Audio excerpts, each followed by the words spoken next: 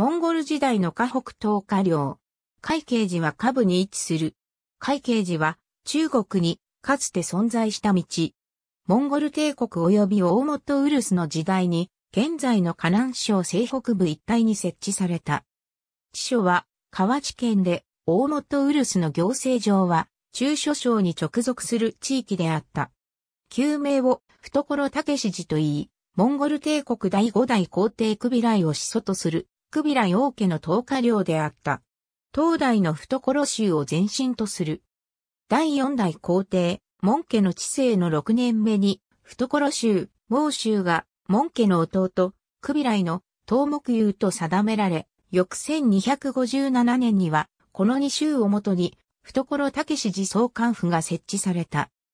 門家の死後、クビライが、帝位継承戦争に勝利し正式に第五代皇帝となると、1264年には一時、懐武士寺と聖徳路は統合されたが、翌1265年には再び懐武士寺は独立した道とされた。クビライの死後即位したオルジェイ・トカーンは、入弱な人柄で知性の後半は、皇后のブルガンが政治の実権を握っていた。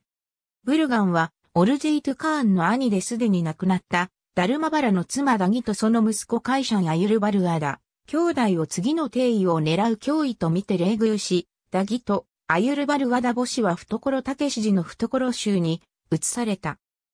オルジェイトカーンの死後、ブルガンは安政王アナンダを擁立することで牽制を保とうとしたが、ダギとアユルバルワダラによるクーデターを受けて失脚し、最終的にダギのもう一人の息子カイシャンが新たなカーンとなった。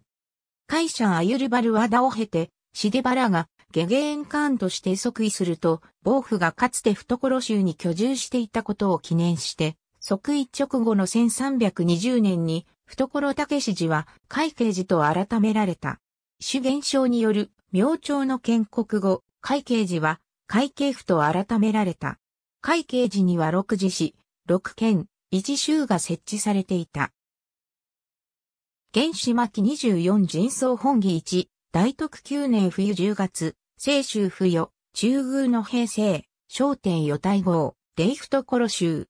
10年冬12月、イタリフトコロ州、原始巻58シリング10チリ市1、海慶寺、下、東フトコロ州、また改め河内郡、またなおため、懐州。総称ため防御。金改め、南懐州、また海進南郡。元初またため、懐州。大宋4年、行懐猛州ごと。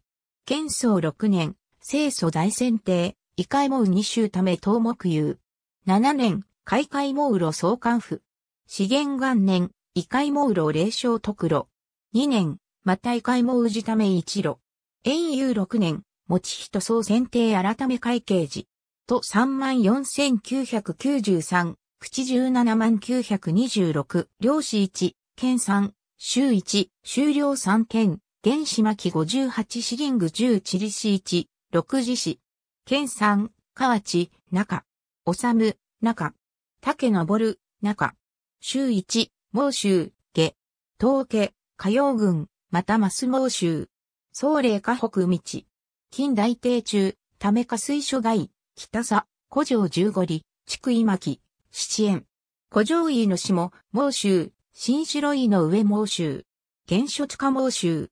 建宗八年、また立上猛州、火曜、制限、大谷、音四県霊園、節子講師。資源三年、小大谷入泉源の波志講師入り火曜。両三県、火曜、下。制限、下。